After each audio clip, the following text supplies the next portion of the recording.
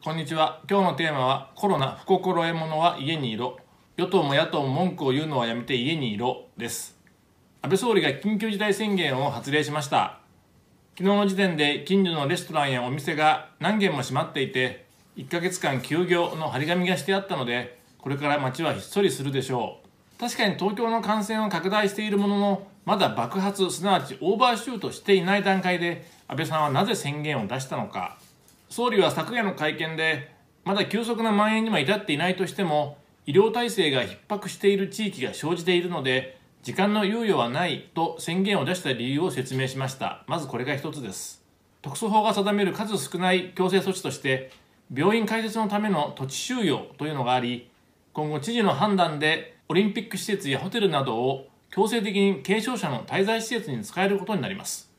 今特に都内の病院の感染症用のベッドのほとんどが感染したが病状の出ない人たちで埋まっているのでこの問題が解消できれば医療崩壊は止められるのではないでしょうか。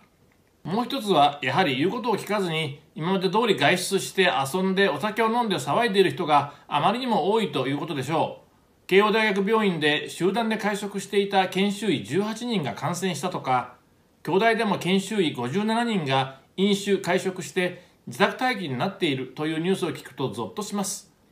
宣言はこうした不心得者に対する脅しの意味があります。緊急事態宣言への批判は大きく3つあります。立憲民主の枝野代表らが言う遅きに失したと海外メディアが言う強制が弱すぎるの2点についてはオーバーシュートに至っていない段階で医療崩壊を防ぎかつ不心得者への脅しなのでこのタイミングこれぐらいの強制力でちょうどいいのではないでしょうか。もう一つこれは少ないんですが宣言は出すべきではないという論です。経済だけでなく社会の活動がストップしてしまうのは困るので日本の医療体制と自粛文化で十分乗り切れるというもので僕も実は本音はこれなんですが医療崩壊と不心得者のことを考えると1ヶ月くらいはしょうがないのかなとも思います。安倍総理は人との接触を8割減らせば2週間後にはピークアウトすると言っていますので今回の措置でコロナ収束への筋道は見えてきました。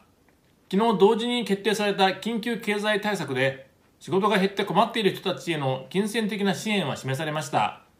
次は収束が見えてきた時点で今度は困っていない人たちに社会復帰消費回復へのインセンティブを与えるためのばらまきも必要だと思います。